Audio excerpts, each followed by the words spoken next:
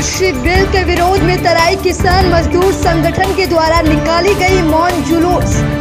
दरअसल, तराई किसान मजदूर संगठन के बैनर तले किसान मजदूर महिलाओं ने गुरुद्वारा में इकट्ठा होकर मौन जुलूस निकाला। यह मौन जुलूस दिनेशपुर नगर क्षेत्र के विभिन्न मार्गों से होता हुआ पुण्य गुरुद्वारा में जाकर जुलूस समाप्त हुआ। इस दौरान संदिग्ध रूप से शहीद हुए किसान नवनीत को श्रद्धांजलि अर्पित की गई। इस बीच किसान नेता डॉक्टर कुलवंत सिंह ने कहा कि युवा किसान नवनीत की मृत्यु संदिग्ध है और हम लोग उसकी मृत्यु की विस्तृत जाँच की मांग कर रहे हैं। ये आंदोलन तो दो अक्टूबर तक राकेश टिकैत जी ने हमारे नेता किसान, किसानों के नेता ने कह ही दिया है कि दो दो दो अक्टूबर तक ये चलेगा ही चलेगा। अगर ये सरकार नहीं जागरूक होती है तो हम लोग लगभग पौने दो सौ के आसपास शहीद हो चुके हैं हमारे काश्तकारों में से।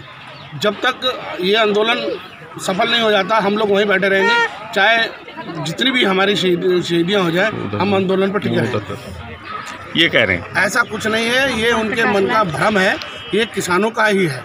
ये और किसान ही वहाँ बैठे हैं। वहाँ ये पूरी किसान के अलावा आप वहाँ देख लीजिए वहाँ हर समाज का व्यक्ति बैठा है।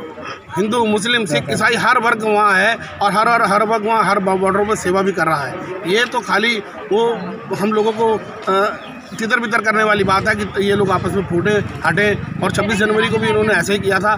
शांतिपूर्वक हम लोगों का मार्च चल रहा था दिल्ली के लिए, लेकिन इन लोगों ने अपने बॉर्डर खोल के अपने आदमी बीच में डालकर कुछ भगदड़ मचवा दी, जिससे हम लोगों को ये कलंकित किया गया एक तरह से कि इन लोगों ने ऐसा कर दिया, वैसा किया, ऐसा हमारे समाज ने या किसान यूनियन ने किसी ने कुछ नहीं किया ऐसा।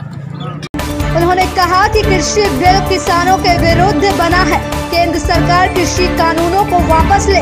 किसान नेता जनरल सिंह काली ने कहा कि केंद्र सरकार किसानों के आंदोलन को तोड़ने के हर प्रयास कर रही है लेकिन वह सफल नहीं हो पा रही है।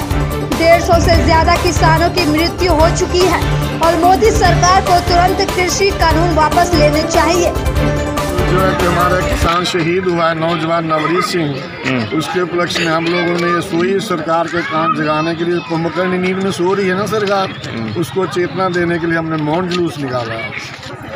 तो आप लोग सारे जानते हैं, उनके सारे पर्दे, सारे उनके खेल उजागर हो गए, जो भारत सरकार के बार बार प्रपंडे करती है, ये सारे उन्हीं के आदमी थे। और नहीं तो आज वो भारत जो है, लाल किले की तरफ़ कैसे गए, वहाँ पे उन्होंने झंडा कैसे फहराया? लाल किले के बाद उन्होंने वहाँ पे अपनी चौकसी क्यों नहीं बरती उनकी जो सिक्योरिटी थी, उनकी जो फोर्स थी, वो कहाँ गई? जो उनका मेन गेट था, वो कैसे खुला रह गया? वहाँ तो अंदर चिड़िया भी फर नहीं मार सकती और वहाँ पर अंदर कैसे लोग घुस गए? ये इन्हीं के लोग थे।